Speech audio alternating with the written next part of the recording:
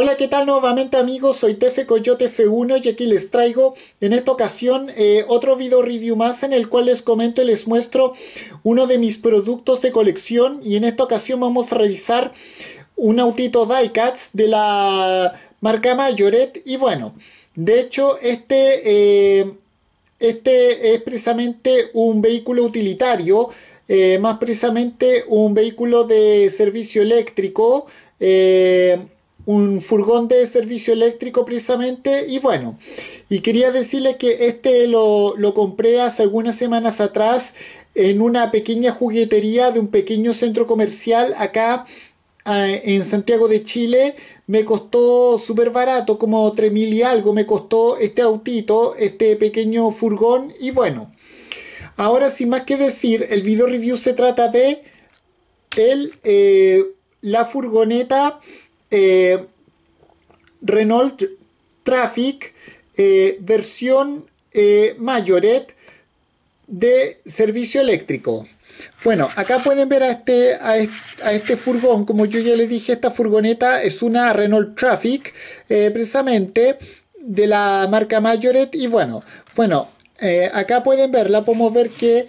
las cuatro ruedas de mi vehículo hacen que pueda deslizarse libremente, no tiene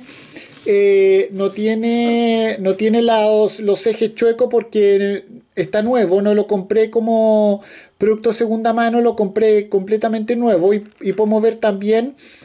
que eh, como todos los autitos de mayores tiene suspensión funcional como si se tratara de un vehículo de verdad y bueno y hasta podemos y hasta se le puede abrir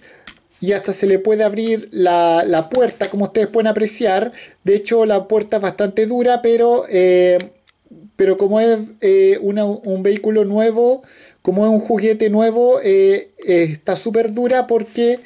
es muy difícil abrirla. Aparte de que, aparte de que tengo la uña muy corta, para los que tienen la uña muy corta, es difícil abrirla y bueno. ahora a continuación vamos a ver eh, eh, alguna la información de este vehículo y bueno, como sabemos, eh, estos son los datos generales de este modelo. Bueno, como sabemos, la Renault Traffic se, se, fabrica desde 1981 de parte de la marca automotriz multinacional Gala. Otros nombres que también posee son, también se llama Nissan Primastar y también se llaman Vauxhall, y Opel eh, Vivaro, eh, que tuvo ese nombre entre 2014 y 2018, Fiat Talento entre 2016 y 2020, y también Mitsubishi Express, y bueno,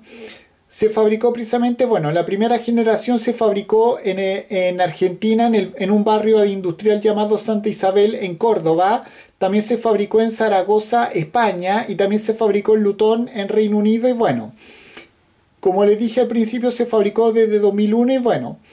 tiene carrocerías tipo microbús, eh, furgoneta y combi y es un vehículo comercial ligero. Eh, y en cuanto a sus modelos eh, relacionados, bueno, sus rivales y similares son la Mercedes-Benz Vito, la Volkswagen Transporter, las, las furgonetas de Sebel, precisamente que,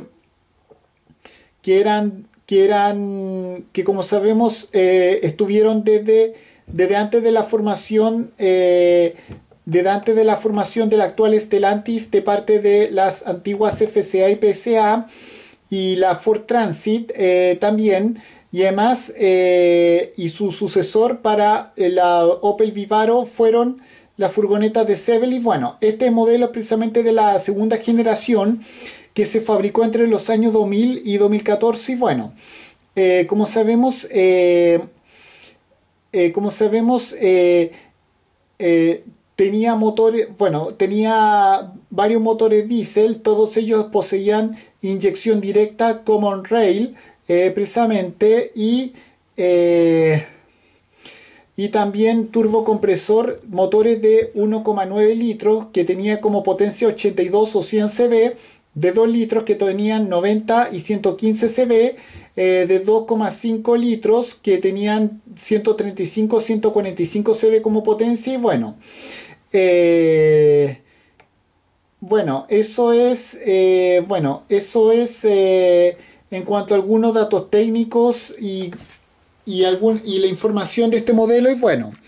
bueno, acá pueden verla, bueno, como le di, bueno, acá pueden verla, podemos ver que el color que predomina en, este, en esta camioneta es el color azul. Podemos ver que tiene unas eh, líneas de señalización tanto en los costados como en la parte frontal y bueno.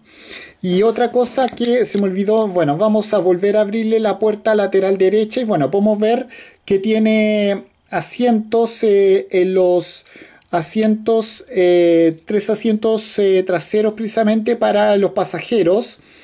de atrás y bueno, podemos ver que hacia adentro también se pueden ver eh, los detalles de, de, la cabina, podemos ver que tiene simulado su tablero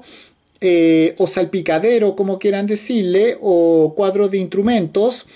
También podemos ver que tiene su volante, los asientos, entre otras cosas. Y bueno, podemos ver que tiene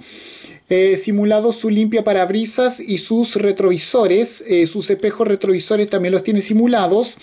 Bueno, podemos ver que sus, eh, sus faros, sus luces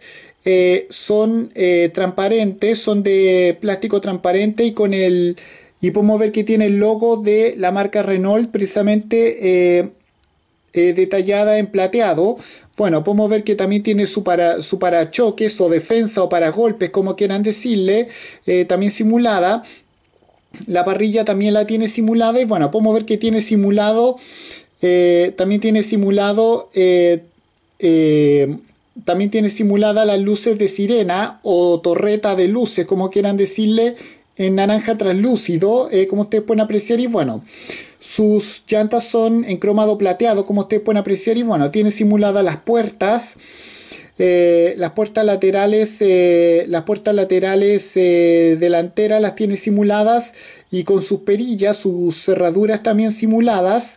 Lo mismo la puerta, las puertas traseras laterales y bueno, podemos ver que dice en la puerta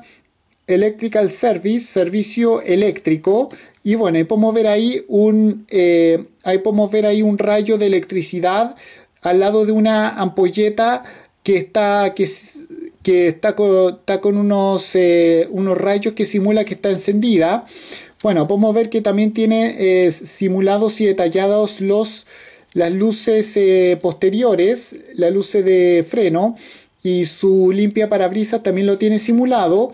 Bueno, y también tiene y podemos ver que también tiene su, eh, su línea de señalización en blanco y rojo, eh, precisamente la parte trasera y bueno, el portón eh, trasero, el portón posterior también lo tiene simulado, así como su perilla, su cerradura. Muy, muy bonito este, este, este furgón y bueno.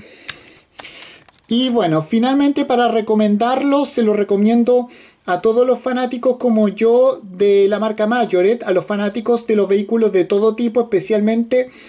a los que son fanáticos de vehículos utilitarios, también se lo recomiendo 100%, así como también a los fanáticos de cualquier marca de, de vehículos reales y a los fanáticos de otras marcas, de autitos Diecats, también lo mismo se lo recomiendo 100% y bueno.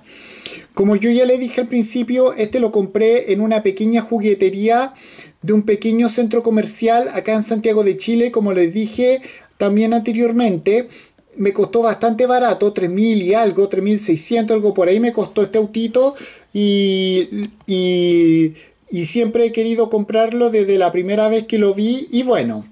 y con esto finalmente doy por finalizado este video review. Recuerden por favor al ver este video comentar, suscribirse a mi canal TF Coyote F1, dar su me gusta, activar la campanita de las notificaciones y compartirlo como todos mis propios video reviews. Y con esto cierro este video. Adiós, como fuera, chao.